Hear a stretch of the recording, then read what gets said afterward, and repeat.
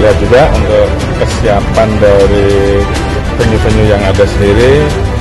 eh, mungkin dalam waktu beberapa hari sudah